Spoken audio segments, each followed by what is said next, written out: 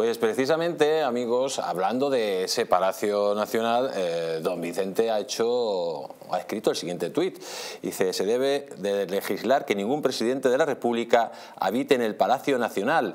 Tenemos este caso, llegó Allo, un poco loco, pero ahí, cuando se fue a enchinchar, el palacio perdió la noción de su pequeñez, de su vulgar figura, de su infinita ignorancia y se transformó en un súper porrón, árbitro, déspota, perverso, soberbio pero sobre todo mitómano, ya basta. Salgamos este 2024 a votar a estos parásitos, trogloditas, ratas, morenarcas. Eh, este Cada una de esas palabras aplica. ¿eh? ha sido reproducido en, muchos periódicos aquí en España a nivel eh, nacional, pero lógicamente lo que usted no, no insulta, hace directamente una definición de lo que ha pasado. ¿no? Pues sí, trato de, pero cada día vamos subiendo el lenguaje en contra de esta gente y cada día parece que tienen más teflón, que nada les afecta, que nada les, les eh, mueve de su silla y de su lugar. Y tienen popularidad, ¿eh? porque saben exactamente qué hacer, cómo hacerlo. Este señor tocó el punto clave las cosas donde fallamos nosotros, yo tengo que reconocerlo. Yo fui presidente de México y hoy reconozco faltantes. Y este señor ha tocado esos faltantes, neoliberales les llama él, la mafia del poder nos llama a nosotros, nos llevó a juicio a todos los expresidentes que todos no servíamos, todo para decir que él sí sirve. Y desgraciadamente la gente lo sigue con verdadera ignorancia. Claro, Tú piensas en un ser humano y lo último que le puedes quitar es la esperanza. Cuando una persona tiene esperanza de algo, se aferra y se pega ahí. Y eso es lo que este tipo ha logrado, esperanza.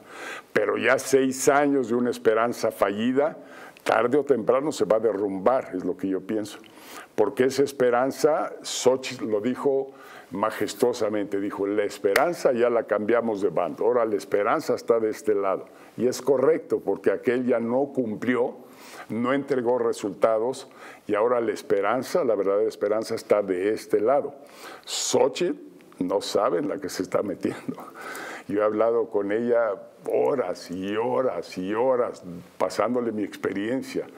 Primero lo difícil que es escalar a llegar a ser presidente. No cualquiera es presidente en un país. Hay que pasar muchos tropiezos, muchas dificultades, muchos problemas y tienes que ir llegando y vas descalificando. Muchos se van quedando en el camino. Alguien va a llegar allá arriba y yo estoy seguro que va a ser Xochitl porque tiene temple porque tiene faldas. A ella no la asusta nadie. Ella fue ahí, tocó a Palacio Nacional y le dice lo que hay que decirle a este cuate. Entonces tiene todas esas virtudes, le falta demostrar que puede ser presidenta. En Estados Unidos se usa mucho entre los que corren hacia una campaña a que se vean presidenciales. Y entonces les pone una corbata roja como la tuya, un traje bien Esta corbata, se lo he dicho antes, que, se era que llevaba Donald Trump. que se vean presidenciales. Ella se tiene que ver presidencial. Tarde o temprano la gente tiene que identificar, esta es la presidenta. Entonces hay muchos obstáculos todavía por superar, hay muchas estrategias todavía por implementar y queda la más difícil de todas, que es el fraude electoral un vicio que traemos en México desde todos los tiempos, que se logró corregir parcialmente en el año 2000 con mi entrada al poder, pero que se ha vuelto a ir degenerando. Y este hombre ha destruido el Instituto Federal Electoral, ha destruido las instituciones que tienen que ver con garantizar el voto de los ciudadanos y entonces va a ser difícil cómo detener ese fraude electoral. No sabemos si él todavía pretende reelegirse, porque todavía hace encuestas y él sale como el candidato para reelegirse. Entonces, esto es, esto es una patraña. cambio la Constitución. Eh, un algo grave.